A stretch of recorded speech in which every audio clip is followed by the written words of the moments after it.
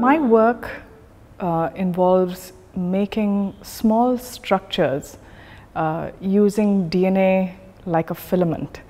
Uh, DNA, as you all know, is the hereditary unit of life and it is uh, like a thread uh, that is the size uh, of, of, two nanometers. Two nanometers is so small. Uh, to give you an idea of that, imagine a strand of your hair that's magnified to a size of a tree trunk, which is one meter across. Two nanometers is the size of an ant on that tree. And if you now want to knit a filament that thin, uh, you're going to need very different kinds of glue. You're going to need very different kinds of ways to cut this filament and then use uh, uh, the rules of Lego, if you want, uh, to be able to use these little filaments like building blocks to make small architectures uh, on the nanoscale, things that would reach the size of a virus.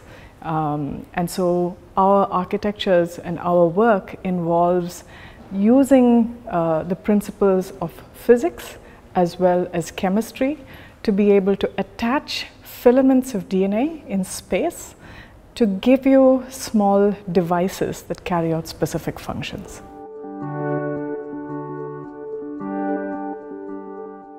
My lab uses uh, these architectures to interrogate living cells uh, in culture or living cells that are present inside living organisms to understand a little more about how the cell functions. So what our devices do is to uh, measure the level of specific chemicals inside subcompartments of cells called organelles. So just like organs of the body perform specific functions for the body, organelles of cells perform very specific functions for cells. And these functions are tied to the organelle maintaining a certain chemical composition inside the lumen. And so by making measures of these chemicals inside those compartments, one can understand whether this compartment is healthy or diseased or what is the defect. And this defect then informs us about how the organelle functions and how the organelle's function impacts the function of the whole cell.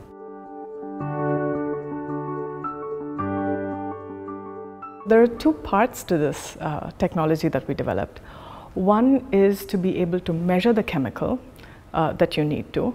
And for this, we graft chemical detectors that glow different colors on our DNA devices. And the difference in the, the color of the glow uh, basically tells us the measure of a particular chemical inside the compartment. The second is that you need to have a way by which you can send this measuring device into your organelle of interest. And that is a finding that our lab has basically uh, pioneered, which is to glue on uh, motifs on our DNA devices that act like homing signals so that the moment they bind the cell's membrane, the surface of the cell, this homing signal kicks in and takes it directly inside the organelle. Now your measuring device is inside your organelle and you can then read out and understand how your organelle is functioning.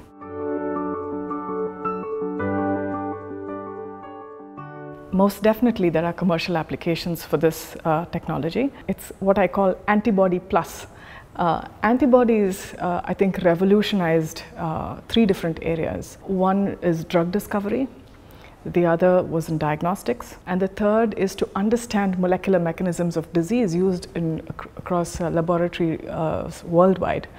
Um, and I think our devices go one step further because in using our technology, you can actually look at cells while they are alive, which you can't do so with antibodies. The second thing that um, we can do uh, is to get chemical measures and get the metabolic state of the organelle while the cell is alive.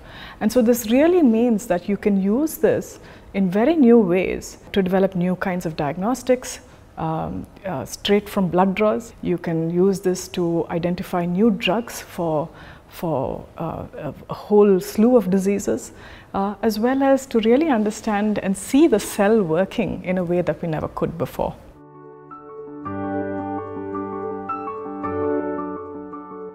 Here's how I envisage it making your life simpler. What measuring sugar did for a diabetic is what we hope our technology will do for a whole variety of diseases. So the first time you get diabetes, you have to go do 100 tests and then you know that you have diabetes.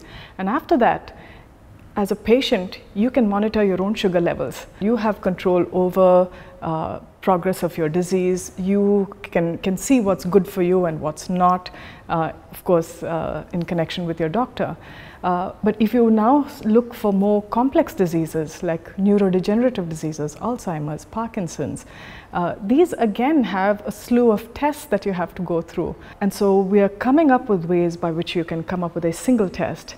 Take a blood draw, a pinprick of blood, use our, our, probes and our analytics uh, to then be able to uh, track the progression of, predict early uh, manifestation of uh, neurodegenerative diseases and manage your own disease uh, in ways that are quite liberating.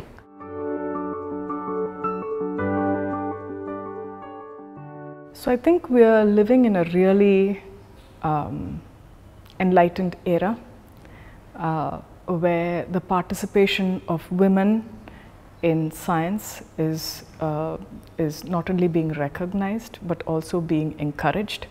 So there's never been a better time to be a woman uh, or a young girl.